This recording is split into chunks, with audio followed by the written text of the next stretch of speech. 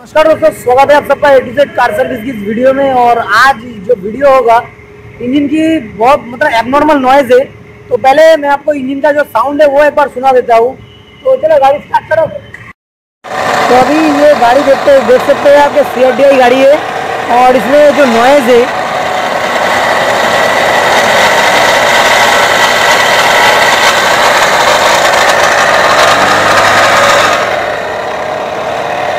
गाड़ी एक बार बंद कर दो।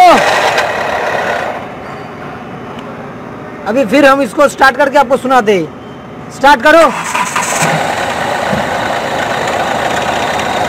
तो ये जो नॉइज़ है, ये मेरा मेनली इस साइड से आ रहा है और इधर में तो कोई नॉइज़ नहीं है। और मुझे लग रहा भी नहीं कि इसकी इंजन के अंदर से कोई नॉइज़ है। लेकिन फिर भी ऑफ़ कर दो ऑफ़ कर दो। लेकिन फिर भी मुझे जब चेक करना है तो जैसे कि मैंने हमेशा कहता हूँ कि इस तरह का कुछ भी नॉइज़ अगर होता है तो पहले मुझे ये जो बेल्ट है, इसको हम लोग तो फ़ैन बेल्ट ही कहते हैं तो ये वी बेल्ट जो है, इसको पहले उतारेंगे। उतार के फिर गाड़ी को स्टार्ट करके देखेंगे कि नॉइज़ अभी भी हो रहा कि नहीं। तो अब ये बेल्ट खोलने के लिए मुझे ये जो चौदह नंबर का सॉकेट टाइप का दिख रहा है, इसको ये मेरा बेल्ट बाहर आ गया है। अभी हम इस कंडीशन में एक बार गाड़ी को स्टार्ट करके देखेंगे कि जो नॉइज़ हो रहा था, ये अगर बाहर का कुछ पुलिस से होता है तो ये मेरा आवाज़ फिर नहीं होगा, क्योंकि बेल्ट अभी खुला है। लेकिन अगर अभी भी इस बोल्ट बेल्ट खुला हुआ कंडीशन में भी आवाज़ होता है तो ये इंजन की अंदर की प्रॉब्लम है तो तब मुझे और ज़्यादा दूसरा कुछ डायग्नोसिस करना है। तो अभी गाड़ी को एक बार स्टार्ट करके देख लेते हैं। स्टार्ट करो। तो अभी मेरा गाड़ी स्टार्ट है, आप देख सकते हैं और इसमें एक्सीलेटर करो। बस बस बस बस। तो नॉइस कुछ खास नहीं है, ये नॉर्मल है अभी। तो पहले जो नॉइस हो रहा था, ये बेल्ट लगा हुआ कंडीशन में तो मतलब ये गाड़ी बंद कर दो। तो हाँ अभी अगर इस कंडीशन में मेरा नॉइज़ नहीं हो रहा है तो इसका मतलब मेरा बाहर का जो ये सब पुली है, इसमें प्रॉब्लम है।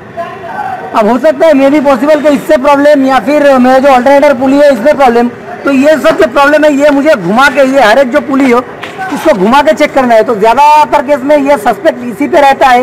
ये टेंशनर जो है, इसमें प्रॉब्लम होता है। तो लेकिन मुझे ये जो पुली है, ये घुमाने से तो कोई दिक्कत नहीं लग रहा है।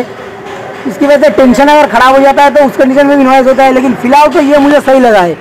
और एक देखिए, ये जो बेल्ट की पुली है, इसमें भी ये आपको ऐसे इस तरह से घुमा, घुमाने से ही पता चल जाएगा। लेकिन इसमें भी मुझे कुछ प्रॉब्लम नहीं लग रहा है। अब ऊपर में ये वाटर पम्प जो है, इसका पुली को भी अगर ये जाम रहता है, तब भी ये प्रॉब्लम होने का चांसेस है, लेकिन ये आपको हाथ से घुमा के मुझे तो कुछ प्रॉब्लम नहीं लग रहा है, ये एकदम इजीली मूव कर रहा है। और यहाँ पे जो अल्टरनेटर का पुली है, इसमें थोड़ा सा वाइब्रेशन टाइप का फीलिंग्स हो रहा है। ओहो, ये देखिए। ये इसके अंदर में जो ये अल्टरनेटर का पुली है, ये बिल्कुल खराब है।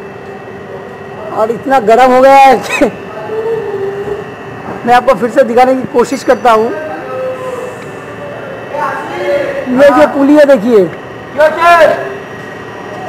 ये बिल्कुल हिल रहा है। तो इसकी जो प्रॉब्लम है, ये यहाँ से ये पुली का सही से टाइट नहीं होना या फिर बेयरिंग खराब होने की वजह से हुआ है। तो ओहो, ये तो इसका प्रॉब्लम तो कुछ दूसरा ही है। अच्छा और जो पुली है, ये कंप्रेशर पुली भी हम लोग चेक कर लेंगे क्योंकि अगर कंप्रेशर पुली को नहीं चेक करेंगे और बाद में इससे प्रॉब्लम हुआ तो तब भी दिक्कत है। और इसमें भी मुझे ये हल्का सा वाइब्रेशन जैसा लग रहा है।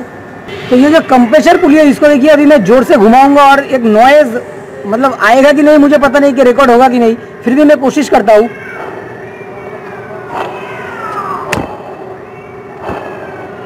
तो इस तरह का नॉइज़ पुलिस से आ रहा है तो मतलब ये आपका प्रॉब्लम है। और आप इसको हाथ से इस तरह से अगर करेंगे, तब भी ये वाइब्रेशन एक फीलिंग्स आएगा हाथ में। तो इसका मतलब इसके अंदर की जो बेयरिंग है, वो खराब है